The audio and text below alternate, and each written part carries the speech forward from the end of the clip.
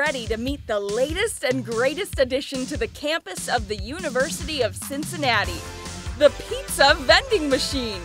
Simply tap the screen, select what dish you'd like to purchase, and within three minutes, you'll have a hot, delicious slice ready to eat on your way to class. My classes, uh, I just have no time to eat between my classes. My schedule's so jam packed, I hardly ever have time to get food. But now, with thanks to the pizza vending machine, getting food is as easy as one, two. Thanks, pizza vending machine. Well, at first, I was a little skeptical of the pizza vending machine. I mean, $100,000 is a lot to spend for that on the school. But after actually trying the pizza, all my worries went away. I feel proud knowing that my tuition is being spent on a giant pizza making hunk of metal. Thanks, pizza vending machine. Whenever my friends say they want to go out and get pizza, they're always like, let's go to Mio's. Ugh, gross. Their deep dish is like disgusting. It's bland and too sweet at the same time. And I'm just so glad that we finally have an alternative.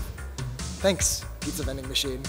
You know, well, um, I used to work at the uh, food court right next to uh, the stadium, and I wasn't getting paid much, but it was good work, you know?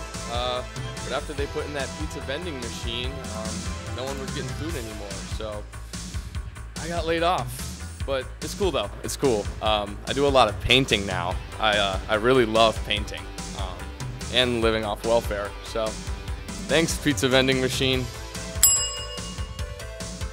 Well, you know, I have a bad leg, and well, the doctor said I couldn't take stairs, so like I have to go all the way from CCM to Clifton Court Hall, which is a very long journey, especially considering I can't take stairs.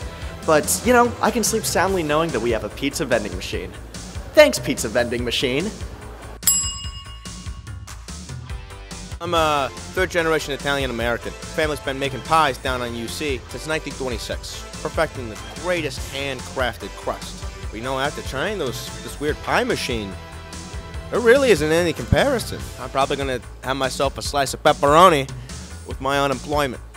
Thanks, pizza vending machine. As a woman, I normally don't feel safe walking on campus at night. I mean, sure, we have the blue emergency phones, but half the time they're out of order and I can't use them if I need it. I would hope UC would use some money to get them fixed. But now with the pizza vending machine, I'm sure all the creeps on campus are just gathering around, sharing slices, leaving campus completely safe. There's somebody behind me, isn't there?